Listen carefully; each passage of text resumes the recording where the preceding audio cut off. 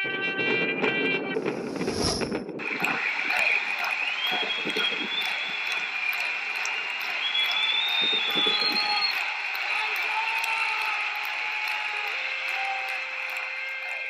everybody. John Abdo here, author of Wolves of Croton, The Untold Story of Milo. Just to give you a little background, I was introduced to Milo when I was probably around five years of age, which was around 1960. I was born in 1955, and my father was an avid weight trainer since his teenage years in the 40s, and he would incrementally increase his weights as he pursued his weight training and bodybuilding career. As a young boy, it's like, Dad, how do you do it? How do you get so strong? And things like that, right? And he would tell me about Milo of Croton, which has culminated into a book. It was a seed that was planted and it just kept germinating in my mind. And I came up with this book on how this boy, this teenage boy, was able to lift a bull when he became a man.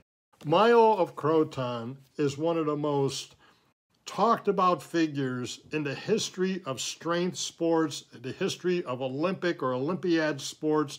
Milo of Croton, a famous 6th century BC athlete, is undoubtedly the most celebrated sportsman of the ancient world.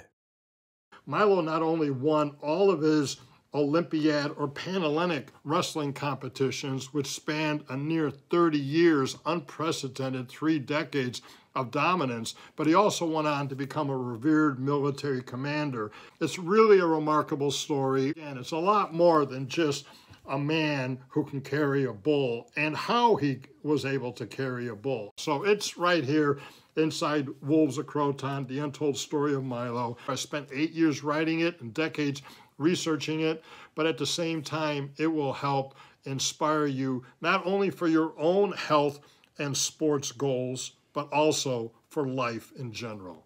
Thank you so much. Get your copy today.